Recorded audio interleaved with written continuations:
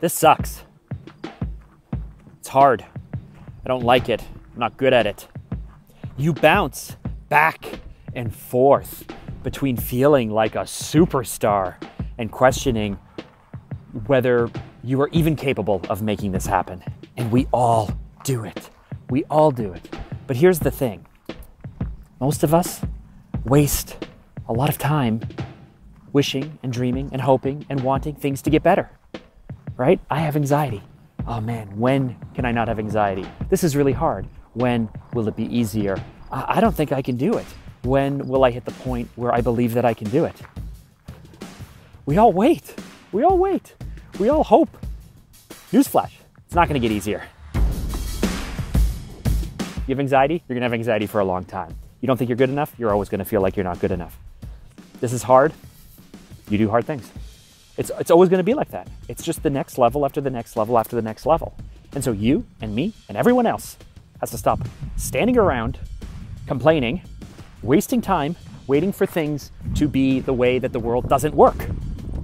There are lots of things that we can do as entrepreneurs and as leaders and as people of vision to try and change the way the world works, to try and make something bigger and better than what it is now.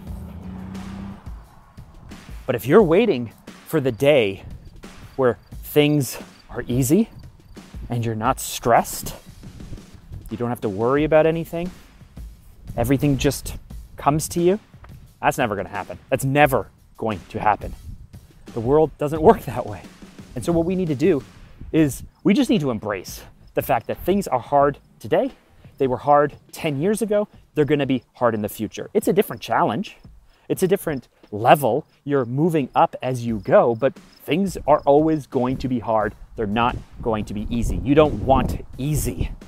If you have stress, if you have anxiety, if you have worries, you're always going to have worries. They're not going to go away when you make more money. They're not going to go away when you have a bigger team or a bigger company. They're not going to go away when you hit all of your dreams and goals. Because your dreams and goals are not to have a stress free life, not to have an easy life. Your dreams and goals are to do something that makes you proud, something that, that, that represents who you are, something that is born out of your mind and out of your heart. That's what you're working towards. That's what you're building. That's an extraordinary life. It's not to be stress free, it's not for things to get easier. And so stop. Won't you please stop? Stop waiting. Stop pining over an easier life. Stop dreaming about the day when you don't have stress. Stop stressing about stress and getting anxious about anxiety and, and beating yourself up for the things that you did wrong or the things that you can't do or the things that you think you're not good enough for. Things are hard. They were hard for you when you were in high school. They were hard for you when you're in college. They were hard for you a few years ago. They're going to be hard in the future. You got through that stuff in the past. You are who you are today, and you will get through the things in the future no matter what life throws at you because there are no other options. This is it. This is your shot. This is your opportunity. You have gifts, you have skills, you have time.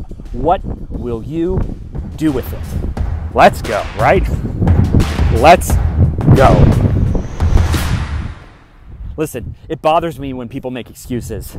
But if this video spoke to you, check out this one right here. I think you'd like it a lot, and I'll see you over there.